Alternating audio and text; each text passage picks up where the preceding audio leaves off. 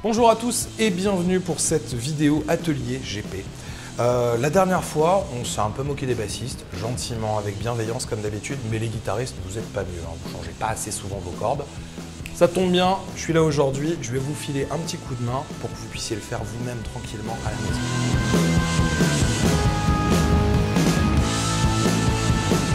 Pour ce changement de corde, on aura besoin d'un support pour la tête de notre guitare, d'un tourne mécanique, d'une pince coupante, d'un peu de polish et d'un chiffon, du petit outil Music Nomad Care pour faire les poussières et d'un jeu de cordes. Alors, comme dans les autres vidéos, on va commencer par détendre les cordes de notre guitare. Pour ça, on aura besoin de notre petit tour de mécanique. Et c'est parti, on y va.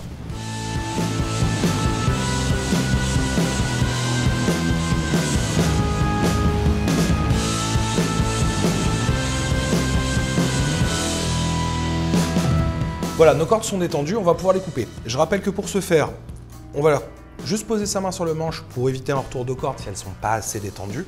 Et on va se guider avec notre, euh, notre sillet et notre pince coupante. Donc il suffit de faire glisser ici, de choper la corde et de la couper.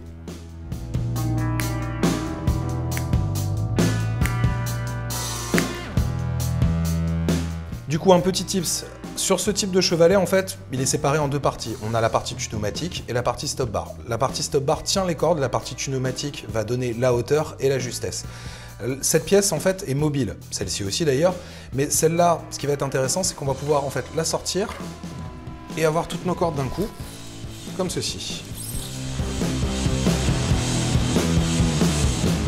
Je vous conseille de les enrouler, c'est quand même beaucoup plus pratique à manœuvrer et à jeter après.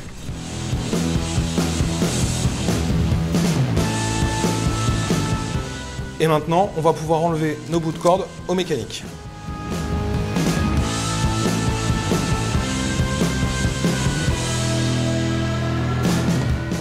La pièce pneumatique, elle est mobile elle aussi, et les inserts le sont tout autant. Donc il faut faire attention au moment du changement de corde, euh, à ne pas soit faire tomber le chevalet et le remonter à l'envers, soit modifier sa hauteur.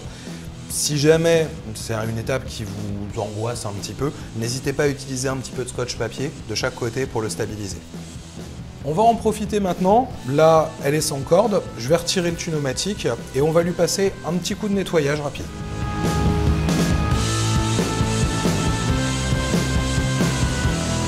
Là, on l'a dépoussiéré. Ça peut être le moment de lui passer un premier petit coup de nettoyage vraiment complet.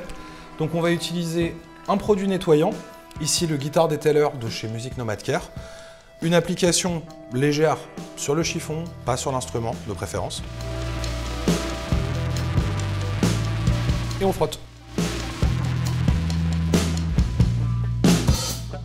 Voilà, notre guitare est propre. On va replacer notre pneumatique dans le bon sens. On va garder de côté notre stop bar et on va passer au montage des cordes. On va monter notre jeu de cordes, un Elixir, même qualité que les autres, la sensation d'un jeu qui reste frais euh, au fil du temps. Une petite astuce, montez toutes vos cordes directement, ça vous permettra de le stabiliser et d'éviter qu'il glisse quand vous les installerez. J'ai aligné mes fûts par rapport à mon sillet, ça va me permettre de glisser ma corde facilement à l'intérieur. Je reprends ma mesure, moi je conseille environ un point la dernière frette, mais après, chacun fait comme il veut. Je suis installé.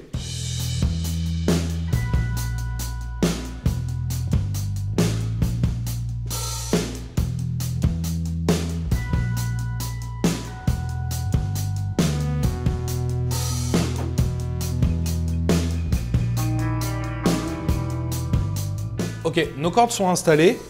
On va faire un petit accordage léger, on ne recherche pas la perfection, là c'est juste pour commencer à les amener euh, à la bonne tension.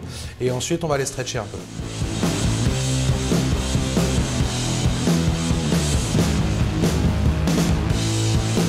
Donc le stretching, en fait, ça va juste consister à venir étirer un petit peu la corde pour permettre au métal de se dilater, pour se stabiliser plus vite.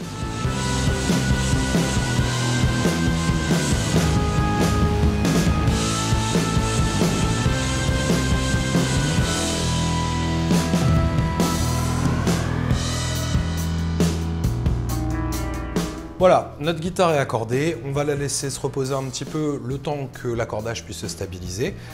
Il est possible qu'elle bouge encore pendant quelques heures, voire quelques jours pour un modèle un peu capricieux.